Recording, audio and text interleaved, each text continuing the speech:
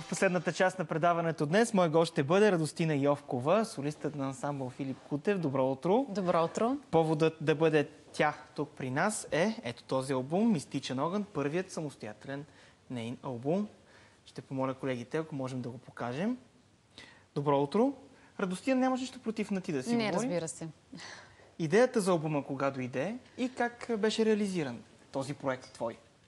Идеята, м, идеята за този албум дойде много отдавна. Ами, значи, малко така тегаво се получи ситуацията. Едни приятели просто решиха, че имат желание да инвестират в един такъв проект. Просто после малко нещата се объркаха и аз трябваше в един момент поела вече ангажимент към колегите, с които работихме този диск, да приключа този проект. Така че горе-долу това, този проект ми коства около две години работа. Този албум. Да, Вътре има 12 песни. точно така. Как ги подбра? Ами, подбора на песните ги извършихме заедно с а, колегите, които участват в този диск. А, направихме около 30 песни демо по един куплет и всеки аранжор всъщност избираше песен, която на него да му хареса и да, да работи. Така че първоначално моето, моята идея, кои песни ще са в компакт диска с тяхната, малко имаше разминаване, но въпреки това мисля, че комбинацията от песни е много сполучлива. Откъде са, от кои краища са тези песни? А- са? Те са 12 на брой тези, които са в Да, края е само един, аз съм от Странджа. Всичко е оттам. Абсолютно, да. Защо мистичен огън? Заглавието на твоя първи Ами, Защ- самостоятелен. Да, а, първо, м, защото точно искахме този диск да, и както успяхме да го направим, да излезе за коледа. А, последната, последната китка, тя е от три коледни песни, а, всъщност е така, как да кажа, акцента в този диск. А, тази, тези песни ги пееме с един мой колега от а, Пловив, със студент мой, а, Емил Тенев. А, И за това, тъй като все пак коледа е хубав семейен празник, решихме заглавието да е нещо в духа на коледа. Но просто беше странно, нали, обложката да е с а пък това да го, предаваме, да го продаваме цяла година, не върви. И за това, кое е нещо, което обединява семейството на коледа, ми бъдника, огъня. И поради тая причина решихме огън. Мистичен е, защото самата странджа като такава е мистична. Мистиката на странджа всички знаят местинарските танци. Всъщност това е това ме провокира да измислиме това заглавие на диска. Мистичен огън. Действително много така въздействащо. Виждаме в момента едни кадри, които ти си донесла. Откъде Да. е това?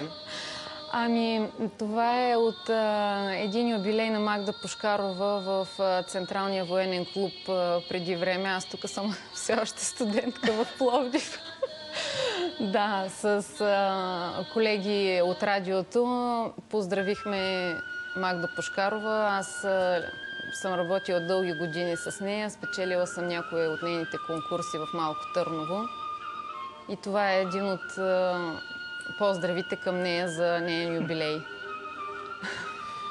А, народната музика, напоследък, не напоследък, последните 20 години в началото имаше едно залитване в тотално друга посока, но през последните години има точно обратният ефект. Действително народната музика успява отново да се наложи, да завоюва мястото, което и се полага в крайна сметка в обществото. Еми, надявам се, защото тя от моето сърце никога не е изчезвала. В ансамбъл в момента има много млади колежки, по-млади от мен. Дай Боже, нали, все по- по-млади да са. А, Приемственост да. не липсва. Не липсва, не липсва точно така. А, така че, а, в крайна сметка, който харесва... Една, една държава трябва, за да, за да съществува, тя трябва да има минало. Културата, народната музика е част от това минало. Тя не може да съществува без минало. Тя не може да има бъдеще, ако няма минало.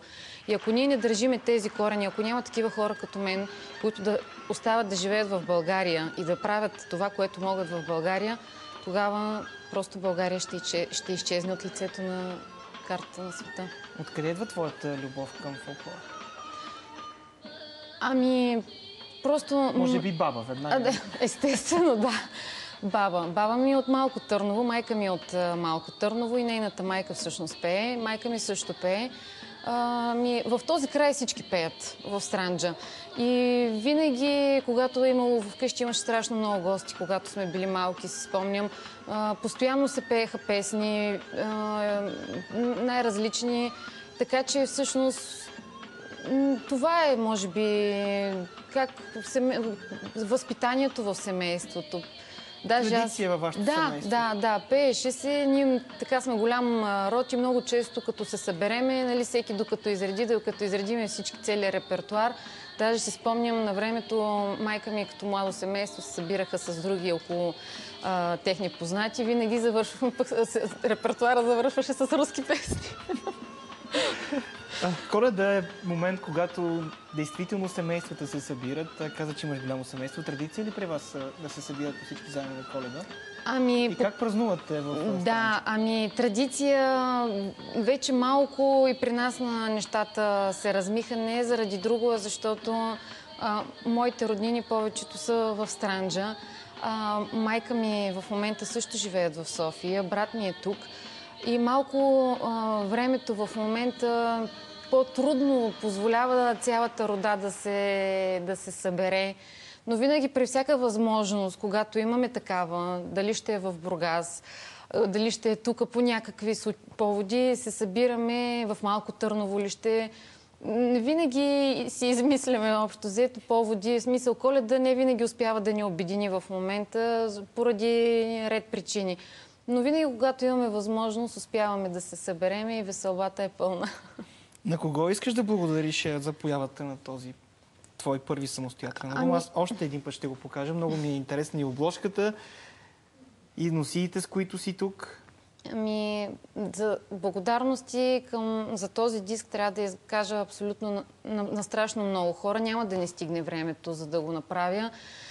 Даже дори да, да, го, да почна да го правя, сигурно ще пропусна някой. Така че няма да изреждам имена, защото освен финансовата а, част в този диск, има много хора, които и морална подкрепа са ми оказали, а те не са повече, отколкото финансови, е, финансовата.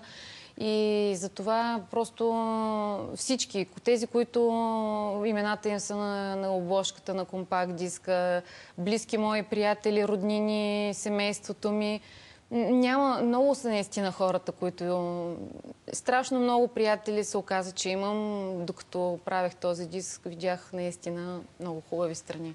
Каква беше 2010 година за теб? Ами, Дали добра. сега е време за равносметки? Да.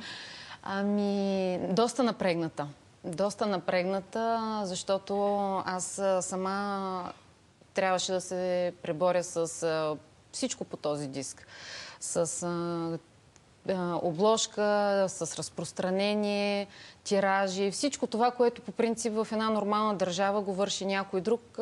Обикновено изпълнителя само отива на концертите да пее и влиза в студио да си запише нещата. Да, но в България не се случват така Да, неща. но аз пък съм доволна, че въпреки всичко, нали, като за първи път на мен това ми беше много трудно, но имах много хора, които ми помогнаха.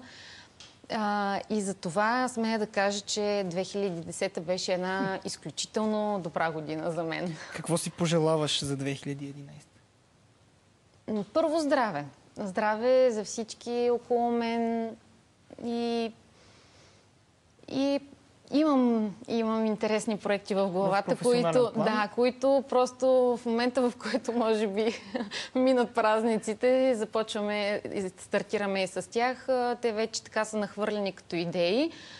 А, просто не смеят да в момента... Мисля, Да не че дори... дявола за да, опашката, да, мисълта ми е, че може би за вас също това ще е нещо интересно, а, което те първа почваме да правим.